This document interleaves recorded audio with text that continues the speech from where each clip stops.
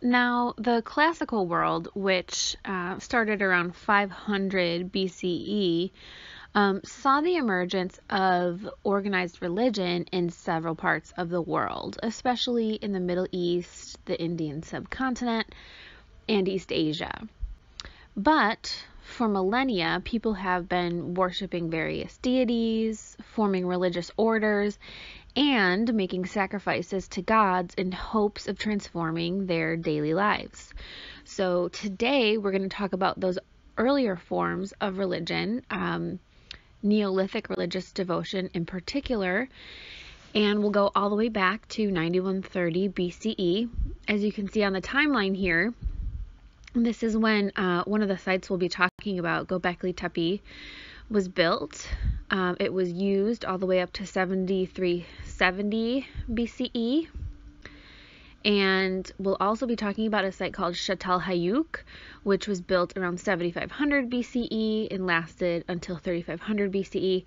Um, I put Stonehenge on here because Stonehenge is normally thought of as a very, very early um, evidence of cultic religions, but um, the two that I'll be talking about today preceded Stonehenge by thousands of years, so that's kind of something that's interesting to think about.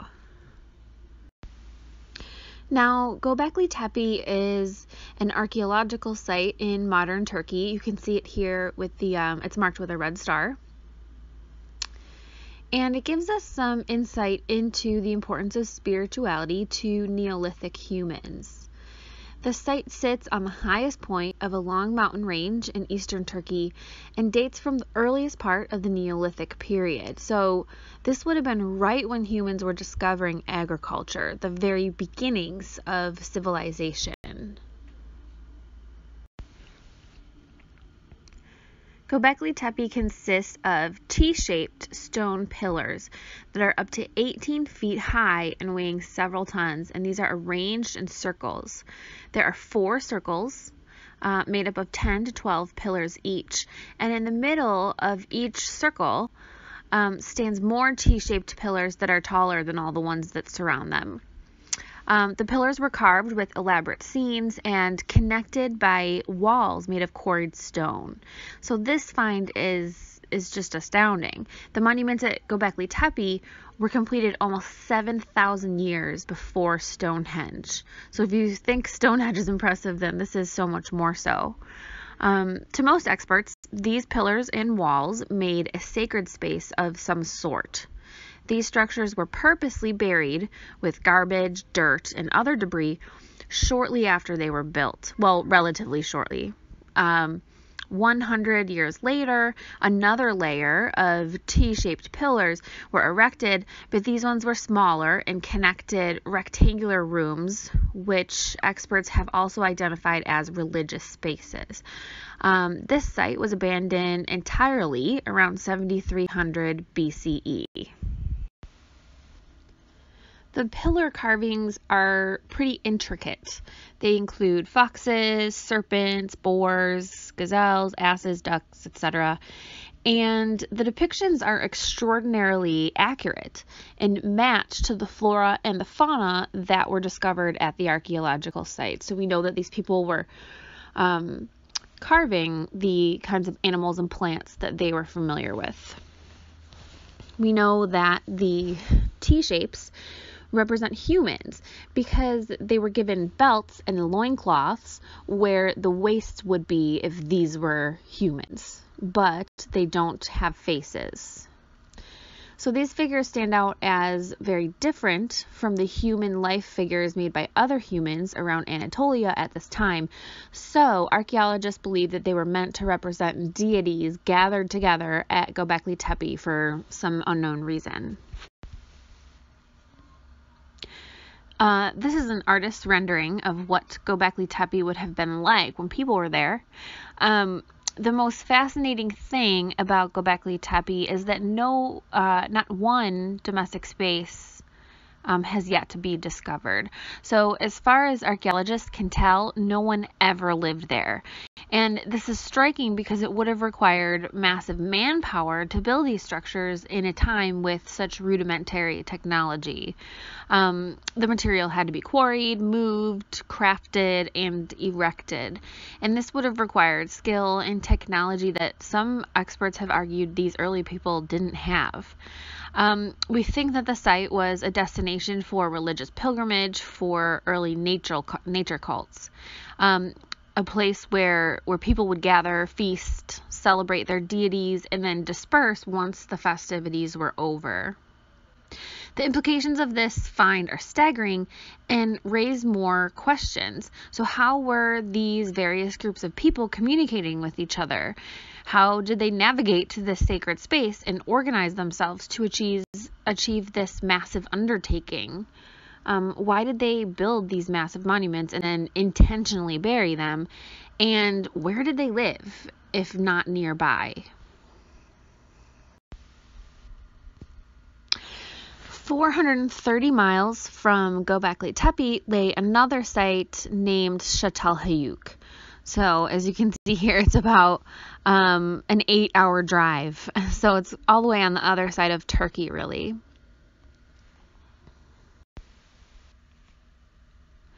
This is an artist's rendering of what Çatalhöyük would have looked like. Um, so Çatalhöyük was an ancient town on the Konya Plain, which thrived between 7500 BCE and 3500 BCE. At its height, the town had a population of 10,000. So, for comparison, um, the first city in Uruk in Mesopotamia had a population of 50,000, but Uruk developed almost 4,000 years later. So, we're talking very, very early. Some scholars call Çatalhöyük city. Um, some some don't so we're we're just going to call it a town um, and we think it may have been a regional trading center the residents of Çatalhöyük specialized in obsidian tool making and other crafts which were exported to nearby towns. The obsidian was collected from a local volcano and fashioned into arrowheads, spearheads, wedges, blades, and mirrors. The process they used, called pressure flaking, required highly specialized skill. So they traded obsidian tools for goods they couldn't get locally, like wood, copper, shells, and asphalt. For example, residents of Çatalhöyük imported flint from Syria and fashioned it into daggers.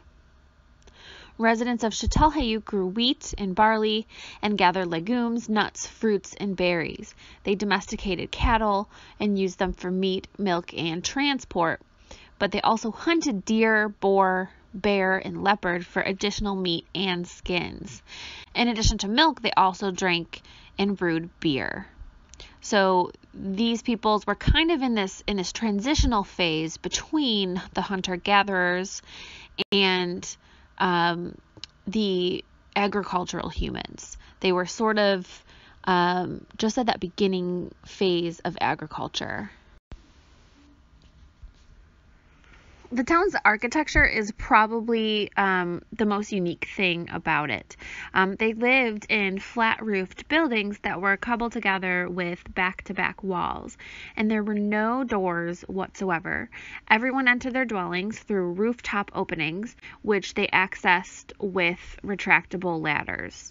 Um, there were few small windows that were built high up on the walls, as you can see here um, and the outer dwellings formed a solid wall around the town. So all of these features suggest that the town was built in a way that defended the residents from raiders.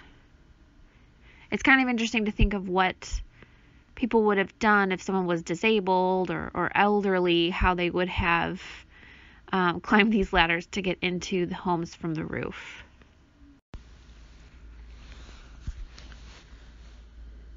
Archaeologists have discovered that one third of all the dwellings that they discovered at Çatalhöyük were sacred spaces.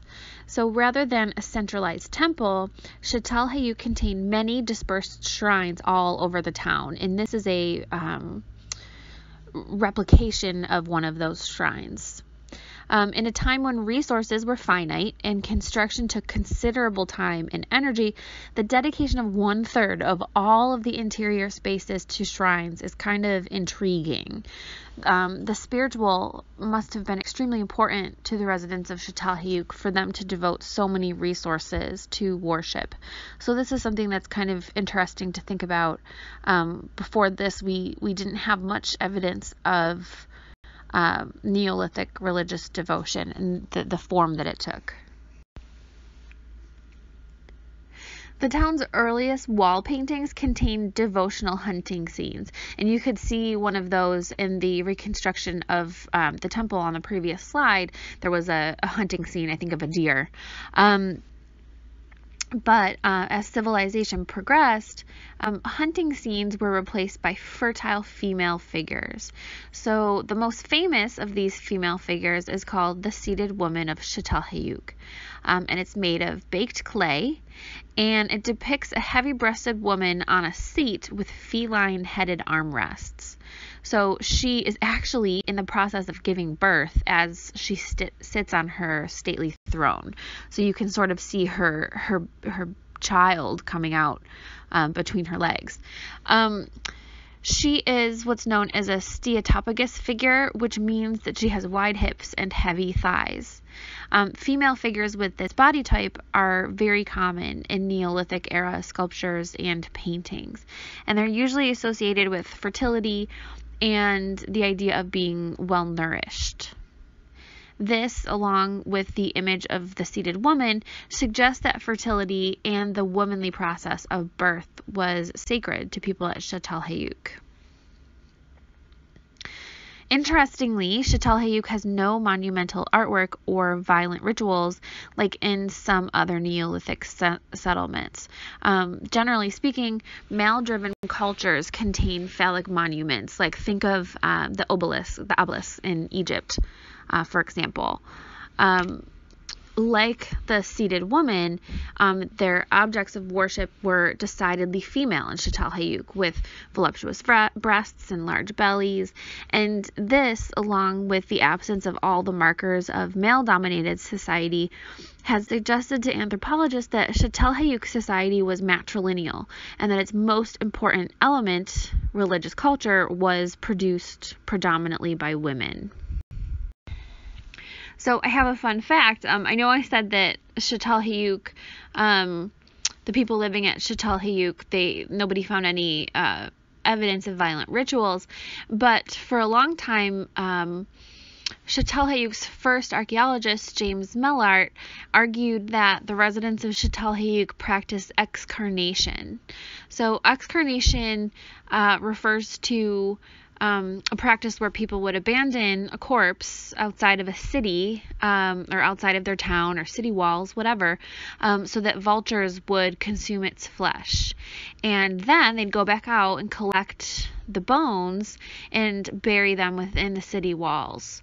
Um, but so, so James Mellaart argued um, because of what he saw with um, the buried humans that he found at Çatalhöyük that they practiced this kind of gruesome practice of excarnation. Um, but his students, um, he has long since passed away, but his students have actually disproven his hypothesis um, for, in various technical ways. Um, and more recent archaeologists working on the site have shown that Çatalhöyük was an unusually peaceful society. So, Çatalhöyük and Göbekli Tepe both remind us to not underestimate Neolithic societies. They were sophisticated and technologically advanced, maybe more so than we have realized. Um, Göbekli Tepe and all that we've learned from it suggests that our perception that Neolithic people weren't sophisticated came from a lack of evidence and not from the realities of their lives. Çatalhöyük tells us that as uh, humans began building urban societies, the sacred remains uh, an important part of their built environments. So um, keep these things in mind as we discuss future cultures.